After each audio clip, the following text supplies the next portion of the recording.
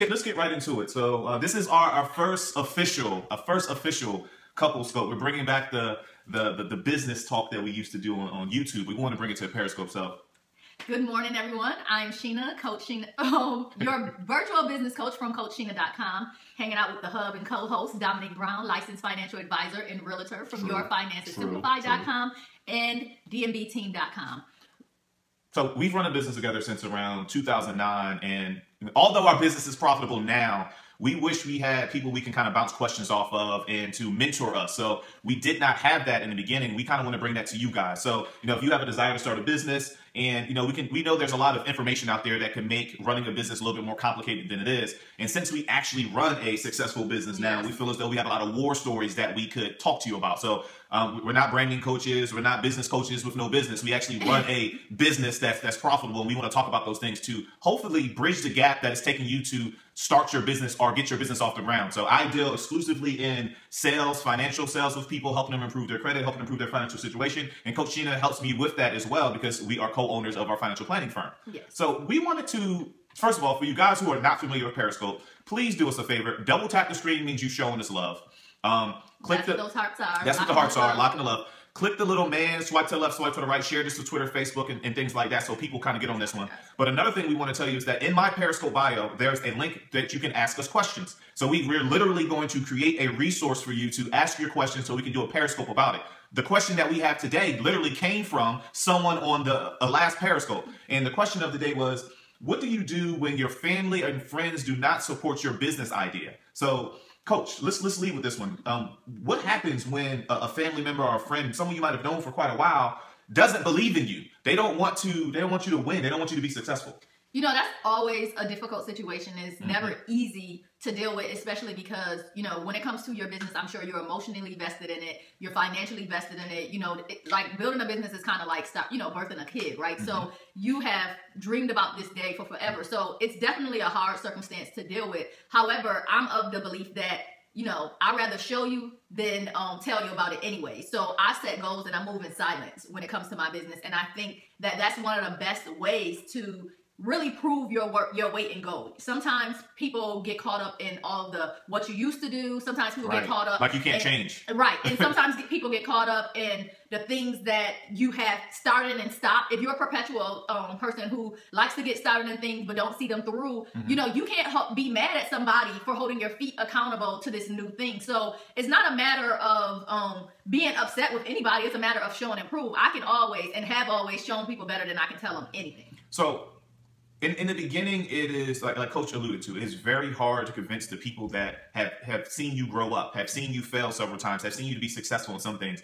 because a, a lot of times you being successful lets them know that they might have failed short. Yeah, it right? definitely. So you could you could grow up with somebody in the same neighborhood, went to the same schools, but they may not be happy that you uh, graduated college recently because they didn't go to college. you know, that's just like really blowing up their shortfalls. And so, Right. um, nobody you wants being great means they should have been great too. right. And if you could do it, meaning they had the capability of doing it. And you know, a lot of times, regardless of who they are in your life, people like to live on their excuses. People like to, you know, justify and hold on to that rather than take action. So you proving them wrong. It, that's essentially what you're doing by actually accomplishing that goal. So Right. So you, you kind of got to sometimes you got to take a step back and say, "Wow, where where is this coming from?" Right? Mhm. Because to you, this is this could be life changing. Starting your business, you're solving a problem for somebody, you're helping them along. So you might want to be honest and ask them, "Well, why don't you support me? Why don't you want me to be happy? Why don't you Why don't you support this dream of mine?" And then sit back and listen to what they say. And it, it may not be you. It, it, it could be them.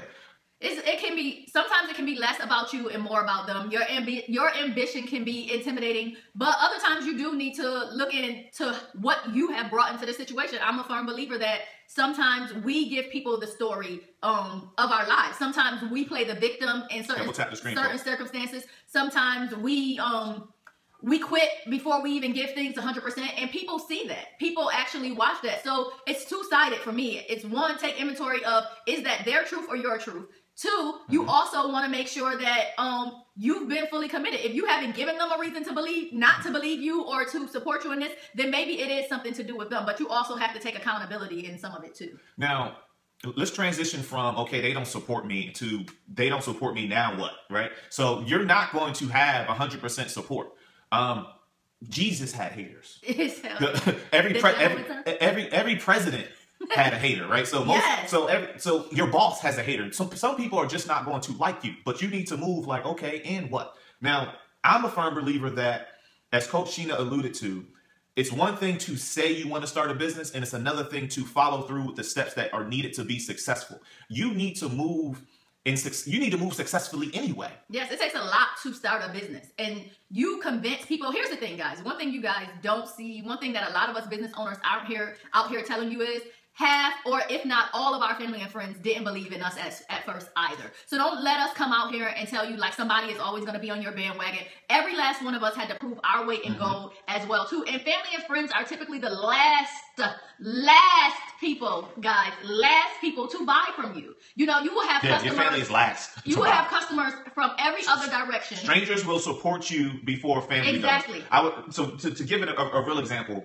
when I launched, when we launched the, the financial planning business, not one family member signed up, not one, not family member gave input. It wasn't until we were overly successful on a social media standpoint, we were overly supported by strangers that family says, "Hey, I see what you're doing over there. That's awesome." But they didn't come over and say, "Hey, I want to buy at full price." It was more so, "Hey, can you hook me up with this?" Right. So they will eventually come around, but it, it's it's more so for selfish reasons at the end of the day as well. you know, no one offered to be a test case initially. No one offered to do any of that things. It was us getting out there hustling that actually made it made them realize this is a real thing. You know, some people can't people can't see past their own um, circumstances and accomplishments Right. sometimes. So sometimes all they know is getting a GED. All they know is working for someone else until retirement. All they know is, you know, putting money in a 401k. They don't know what it's like to do some of the things that we're doing. So don't get so caught up in taking it personally. Right. Instead, start taking action towards your dream. Because here's the thing, you, you have to push on anyway. Right? Exactly. So there is there is high level, then there's eye level. Most people you grew up with, most people who knew you are looking at the eye level. You are looking beyond the eye level. You are here. They they don't understand. If they are, if this was a jungle and you're a giraffe, they're turtles. Y'all in the same jungle. Y'all came from the same spot, but y'all got two different points of views, two different perspectives. Your co your current coworkers aren't going to support you. Your current friends who, who you just hang out with last weekend are not going to support They you. don't understand You need to push forward because you are solving a problem for people. You cannot disrespect the people who need you by stopping because someone you love gave their opinion. You got to move forward, period. All day.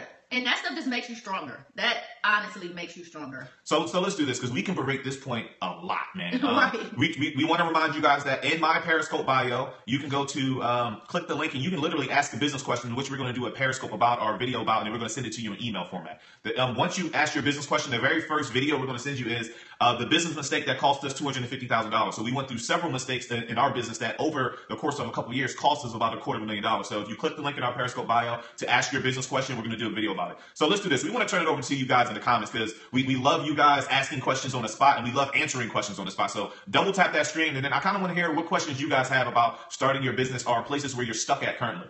And when you're surrounded by doubt and when you're surrounded by people who don't support you, you need to learn to really change your circle of influence. You need to learn to step outside of the box. You need to, there's so much out in this virtual space where you can get motivated to get Absolutely. started, where you can Absolutely. find encouragement, where you can be virtually Dom and Sheena, like two black millionaires friends. So you don't have to get stuck in that. You're telling yourself that you have to get stuck in that, but you need to go out and seek encouragement or get what you need from somebody, from where you need it from. So, oh, this is great.